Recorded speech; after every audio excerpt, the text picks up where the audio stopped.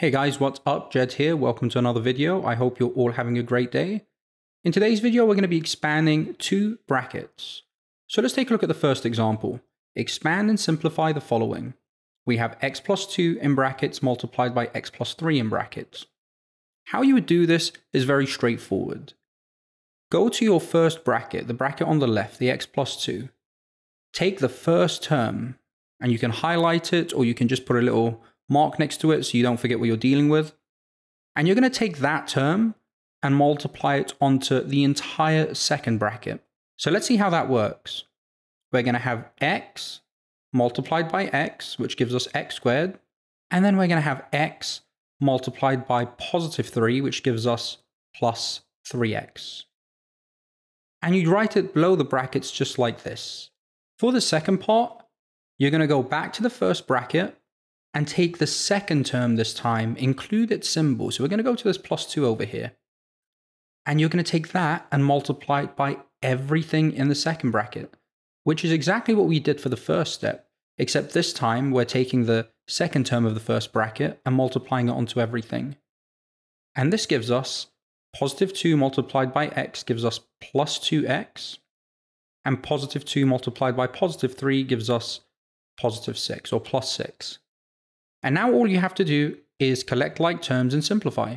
So there's only one x squared term here, so I'm just going to go ahead and write down x squared. For the x, there are two terms with x in it. There's the plus 3x and there's the plus 2x. And if we combine them, we get plus 5x. And of course, the final term, the constant, plus 6, is the only number in the expression. So we just write it down at the end like this. And there you have it. That's how you expand two brackets. Let's take a look at this example here. We have 2x minus 3 in brackets squared. Now many students are going to make the mistake of thinking they can take this square and apply it to each term. So like 2x squared and 3 squared. This is incorrect. Do not do this. When you have a square on top here, what it means is this 2x minus 3 is being multiplied by itself twice. So it looks like this. 2x minus 3, 2x minus 3.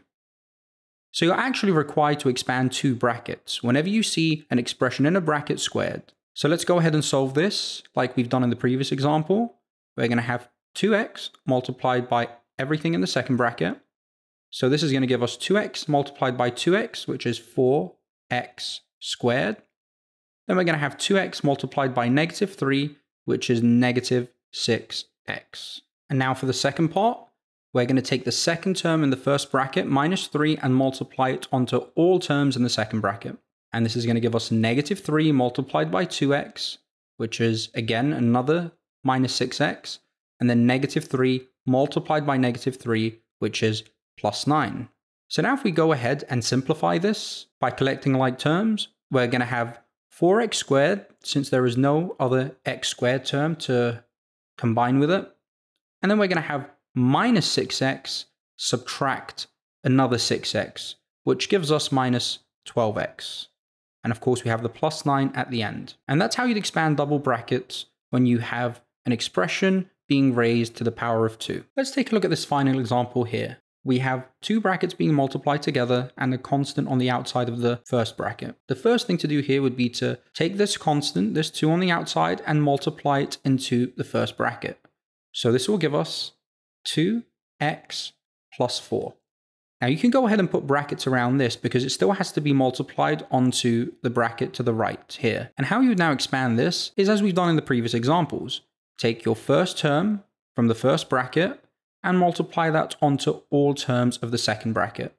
So we're going to have 2x multiplied by x squared, which gives us 2x to the power of 3. And then we're going to have 2x multiplied by plus 2x here, which is going to give us plus 4x. And then finally 2x multiplied by negative 3, which is going to give us minus 6x. Now let's do the same for the second term in the first bracket. We're going to take this plus 4 and multiply it onto everything in the second bracket. And this is going to give us plus 4 multiplied by x squared, which is plus 4x squared, positive 4 multiplied by positive 2x, which will give us positive or plus 8x, positive 4 multiplied by negative 3, which will give us minus 12. And now we simplify this by collecting the like terms and we should have our final answer. Since we only have one term with an x cubed, I'm just going to go ahead and write this down, 2x cubed. I'm now going to collect all of my terms with an x squared. I'm, you know, I try and like simplify in descending powers of x's.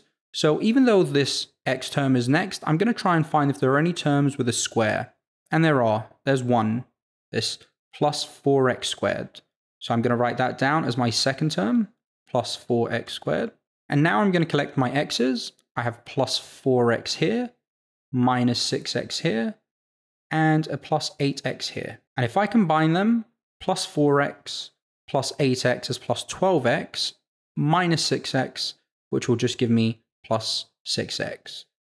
And of course, we have the minus 12 at the end, which we can just bring down and attach it to the expression like this. And there you have it. This is your final simplified expression from expanding two brackets. Thank you very much for watching, guys. If you have any questions, please leave them in the comments below. We look forward to seeing you in the next video. Take care.